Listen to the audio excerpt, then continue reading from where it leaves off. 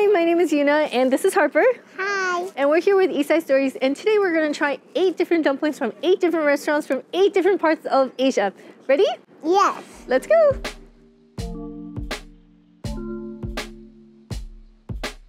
All right, so first up we have chuchvara from Uzbekistan. Ready? Okay. You try first. I try first? Okay. Mmm. Can I try? Of course. Eh? Look why. Ah. Mmm. What do you think? Mm, um, Is it yummy? This restaurant serves Uyghur food, which is from the Kashgar part of China. On another bite? Yeah. I want that dumpling.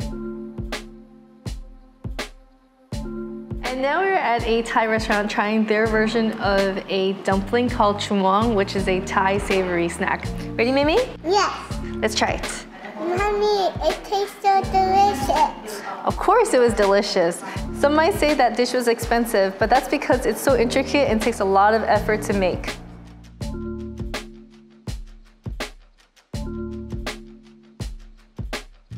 Now we're finally here to eat fried dumplings.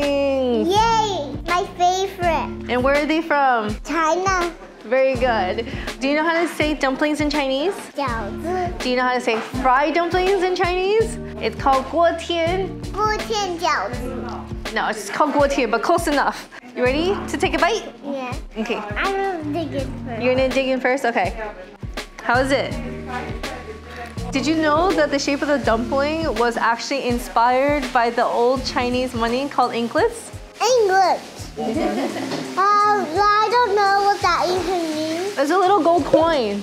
Uh, uh, I mean, a gold dumpling.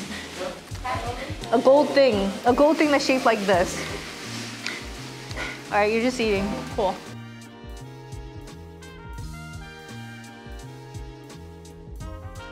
We are now at our next spot called Minka, which is a Japanese restaurant, and we are here to try their version of a dumpling called gyozas. Okay. And gyozas are very similar to the fried dumplings we had earlier, but their skin is a lot thinner, which allows it to be crispier. So, ready to try some? Mm-hmm. Oh, very, very, very. But is it good though?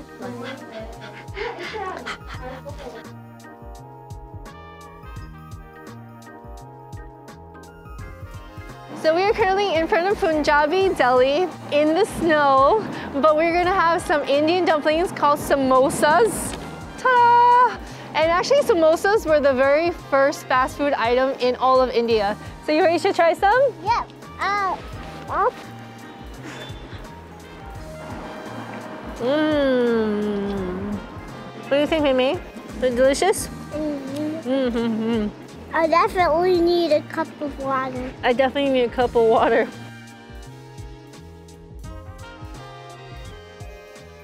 And now we're at our next restaurant called Cook, which is a Korean restaurant, and we're gonna try their version of a dumpling called mandu. Can you say mandu?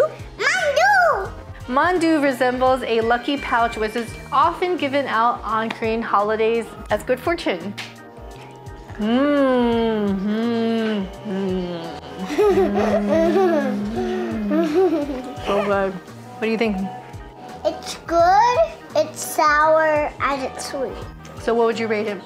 I'll give it 10 stars. 10 stars, wow.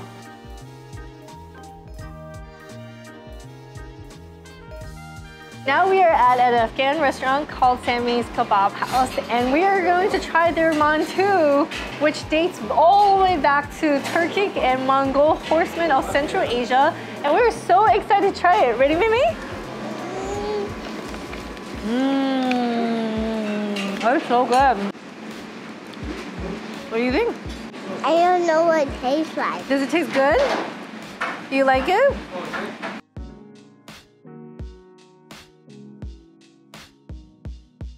Last but not least, we are at our final dumpling spot, which is called Phayul, which is a Tibetan restaurant. Now, these things are called momos, and they were originated from the Kathmandu Valley, but then later introduced to Tibet. So without further ado, want some, Yeah, I'm gonna, uh, can I, I wanna eat three. you wanna eat three? You ready?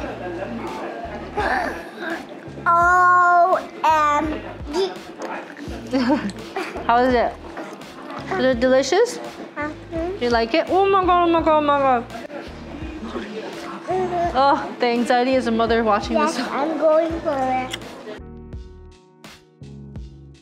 I hope you guys enjoyed the video as much as we enjoyed eating all the different dumplings. And there's no better way to end this video than the melting pot of diversity in Jackson Heights. Comment down below what was your favorite dumpling dish that you would absolutely want to try. Or let us know what favorite dish of yours we should try next. Let us know in the comments down below. Don't forget to like and subscribe and we will catch you guys next time.